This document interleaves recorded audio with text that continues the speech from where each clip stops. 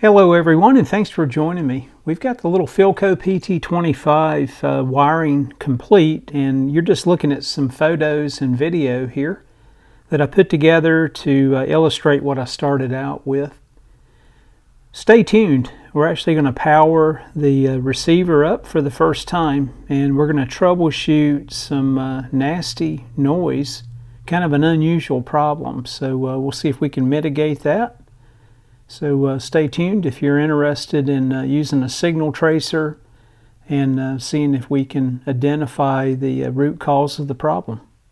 You guys can see the photos I took along the way. They illustrate how bad the old rubber wire was. Uh, there's no way you could power this up and it was in such bad shape I elected just to uh, cut everything out start from scratch. So it's always a great learning opportunity as well, trying to rewire one from uh, scratch. So you can see some of my uh, efforts here, cleaning up the uh, chassis itself. Got it polished up uh, nicely and uh, pretty much bare bones here. Checking all the tube sockets along the way as well those uh, Loctal tube sockets have known to uh, be bad, so I just took time to do DC resistance measurements here before uh, getting very far along into the uh, restoration itself. Stripping out those old uh, resistors, and then I elected to use some uh, cloth covered pushback wiring that I had. Of course, white here, I wanted brown for my filaments, so I'm just color coding those and then we're actually going to bring up the uh, filament string or the heater string here and uh, just check each of the uh, tubes just to make certain that uh, our heater voltage is uh, correct. You can see there I'm using that uh, original uh, Candohm resistor as well. I'm going to leave that in place for now. Here I'm breaking down the IF transformers and rewiring those cleaning up the uh, capacitor areas as best I could as well. And then uh, you can see here all new resistors in place. And uh, you'll notice I placed the resistors back where they were originally. And uh, hopefully that will help me with the uh, wire dressing itself um, when it comes time to uh, actually get into the rewiring. Getting the oscillator coil back in place wired up and uh, you can just see my progress to this point. For this particular receiver you can see I used an electronic copy of the schematic itself and I just have everything uh, color coded as I'm doing the uh, component replacements in addition to the uh, individual wiring. Moving along here to the tuning condenser itself it was uh, fairly nasty so I took uh, probably about 10 to 15 cycles there in the ultrasonic cleaner and uh, got it cleaned up. So it polished up and cleaned up really well. And of course checked it for shorts uh, before placing it back in uh, circuit as well. And you can see here I took time to uh, understand the uh, dial cord winding. I'm just using the old dial cord which I'll need to replace. This actually snapped off while I was working on the uh, receiver itself. And along the way I used some deoxit there on the tube sockets itself and a uh, nylon brush just to remove any uh, oxidation there that the uh, pins would come in contact with. In addition, each uh, tube itself was uh, thoroughly cleaned, all the pins due to the uh, dissimilar metals. You can see here I've got the loudspeaker back in place and mounted. And the rewiring and component placement is uh, almost 100% complete at this point. Just wrapping up here with the uh, B plus itself, getting the uh, resistor mounted that takes the place of the field coil and the uh, capacitors itself. Still need to uh, tidy this up. Let's go ahead and uh, power up the receiver now and get into the troubleshooting issues that I mentioned earlier.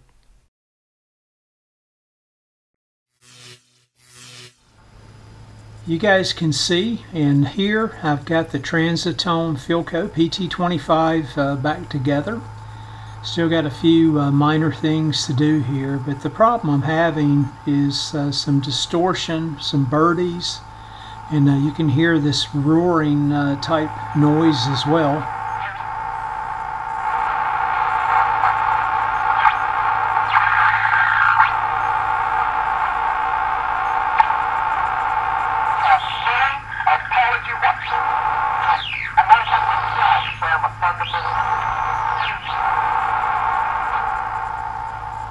So let's do some troubleshooting here. I'll flip this over and uh, see if we can identify the uh, cause of the uh, issue itself.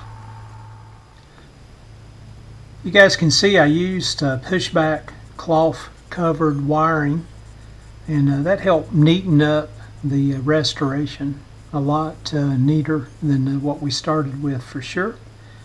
And again the original design used an electrodynamic loudspeaker so I've substituted a, uh, 10 watt resistor which still needs to be secured to the uh, chassis itself here for some additional heat sinking. And uh, just a few other things uh, to tidy up the uh, new dial cord as well. But uh, let's go ahead and do some troubleshooting here. Let me turn the radio back on and we'll start with the audio section itself and uh, work our way back to the uh, RF section, see if we can identify the uh, cause of the issue itself. So all of the grid voltages and the B plus voltages have been confirmed to be within operating range. So in this video I'll forego those steps and uh, we'll just focus on signal tracing itself to uh, hopefully diagnose and uh, make a repair. Let's get started. We'll start things off here at the uh, power output tube, the 35A5 uh, for those wearing uh, earbuds or headphones. Just keep in mind you'll hear some loud noises, pops, etc. So just be mindful of that. I'll have to turn the volume up as well here just a bit.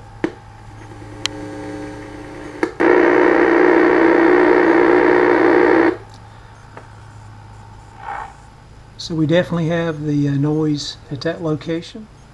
Let's work our way back here to the uh, 7 Charlie 6, the uh, detector AVC. See if we have the issue here.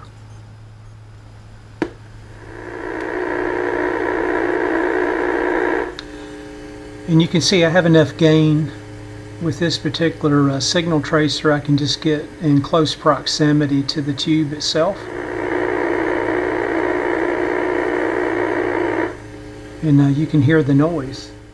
So let's move back to the uh, 7B7, the 7 Baker 7, the IF amplifier, and uh, see if we have the problem here. Again, you can follow along on the schematic. We'll check the plate first, and then we'll move over to the uh, grid itself and uh, see if the problem uh, shows itself there coming from the first IF transformer.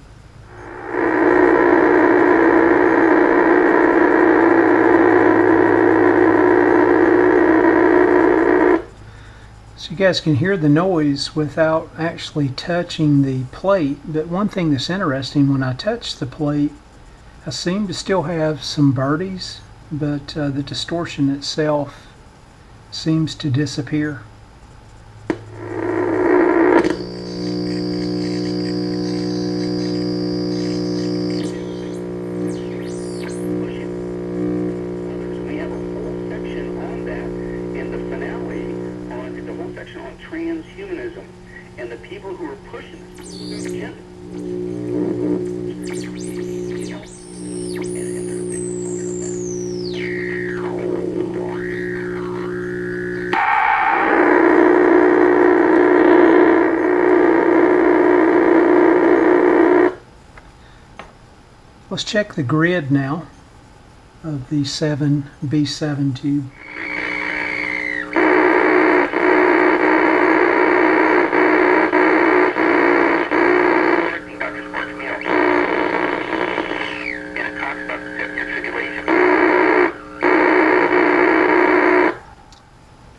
quite interesting. You can hear the noise on the grid itself of the 7B7, which is fed directly from the first IF transformer.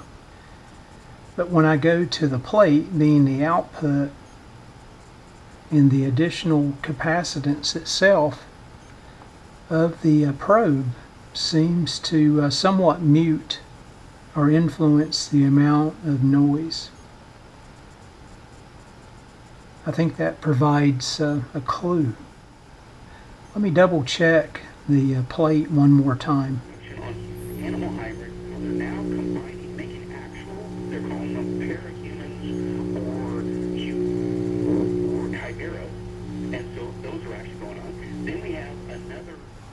Then again, if I get in close proximity to the plate without a direct connection,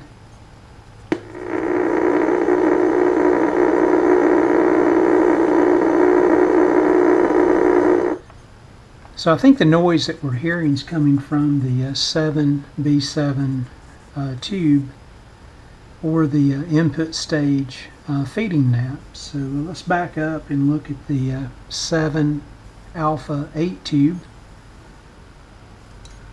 which resides uh, right here. That's the converter tube, oscillator, does a lot of things. And let's check off the plate there, which feeds that first IF transformer, and uh, see what we can discover. Destroy his family, it will be literally hell on earth. So, when Jesus comes, that will forget that that will be far beyond anything that we can imagine. You know, we think of machine gun or jet planes. I think this is going to be another realm, and I think the closer we get to this, to what you're talking about, Revelation chapter 19 will, will have a really new meaning to each and every one of us. Yeah, basically, and I agree with you, we document this, that was actually my theory. So quite interesting. Of course I hear some hum. Again, that's to be expected. We're coming off of the plate with the uh, B plus voltage using a uh, 56 picofarad capacitor here on the uh, signal tracer to help mitigate some of the hum. But um, it seems the uh, problem itself resides in the uh, IF transformer. I've done an IF alignment and uh, peaked the uh, transformers. One thing I'm curious about, the old Philco IF transformers use the old uh, color codes. Rewired everything, trying to be mindful to get everything correct. And what I'm speculating on the uh, first IF that uh, I've got the uh, transformer wired incorrectly. Now I think the primary side is fine. I'm thinking the secondary side I've got the leads reversed and the signal itself feeding over to the grid of the 7B7 amplifier here, the IF amplifier is uh, potentially out of phase and uh, that can cause uh, those type of distortions that uh, we're hearing. So um, let me uh, take the power off of the uh, receiver here and discharge the capacitors. Let's hook up a scope and look at the signal and see if indeed uh, we're in phase or out of phase back over to the uh, grid here of the 7B7 and if we're out of phase then um, I'll probably try to uh, pop the uh, cover off of the uh, transformer itself so I don't have to uh, redress these leads through here and see if I can just uh, unsolder and solder back the uh, connections here on the transformer and uh, see if that actually makes any difference at all in the uh, noise that we're uh, hearing. Again, let me uh, power this off, discharge the caps here, and let's hook up the O-scope, the signal generator, and uh, generate a frequency at 470 uh, kilohertz or kilocycles, that being the IF for this particular receiver. We'll look at channel A and uh, channel B and uh, compare the uh, results. You can see I've got the signal generator hooked up RF wise injecting a uh, 470 kilohertz signal here to the uh, first IF or to the plate of the uh, 7 alpha 8 tube, the uh, converter, and then we'll hook up the other oscilloscope probe here back over to the uh, grid. We'll look at the uh, signals here and see if they're in phase with each other. You can see with everything hooked up, we're out of phase. If you look at the uh, screen here, the uh, bottom being the uh, grid and what's in yellow being fed through the IF transformer. So again, I'm just speculating. Uh, this is possibly the issue.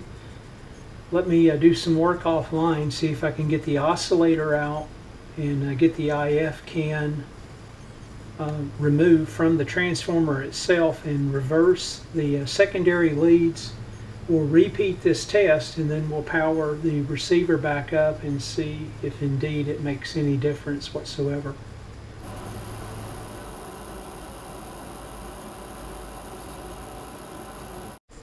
So there you have it. I reversed the leads on the uh, transformer on the secondary side. I could have done the uh, primary as well. Again, I wanted to keep the uh, lead coloring correct. Let's uh, power up the receiver and see if it uh, made any difference at all. We'll use the uh, non-contact method here and just turn the signal tracer on. And um, then we'll listen to it through the loudspeaker as well. And people say, yeah, the way you're carrying, I can tell it's a girl. No, see, I know it's a boy. And you say, wait, it's a boy or a girl? You have both names picked, you know?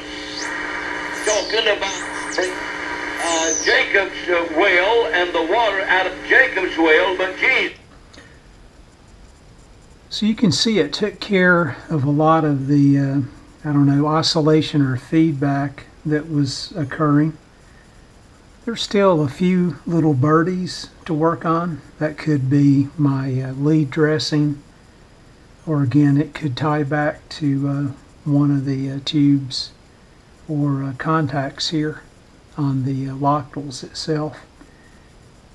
I'm not going to really uh, be worried about that, but uh, the, the, the, water that I shall give him, that uh, water that I.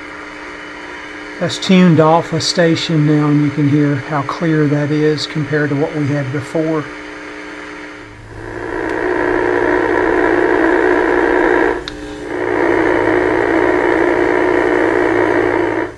So just reversing the uh, leads on the uh, IF transformer in this case and having everything in phase back over to the uh, IF amplifier seemed to uh, make this particular receiver uh, more happy. I'm going to go back and make a few modifications here to the uh, design. The schematic called for a 0.04 microfarad cap here on the output tube I went back with the 0.02 so I'm actually uh, filtering out or allowing I should say more of the uh, high frequencies to come through. Being my loudspeaker doesn't have a surround I'm already passing a lot of the uh, high frequency information over to the loudspeaker so I'm going to increase that to at least the 0.04 microfarads and uh, try to attenuate some of the higher frequencies and uh, make the uh, loudspeaker that I reproduced without a uh, surround uh, to be just a little sharper. Again, this will not be a daily player. It was more just a challenge to uh, rewire it and um, see if I could get this thing playing again, which I've done. I appreciate you guys watching the series.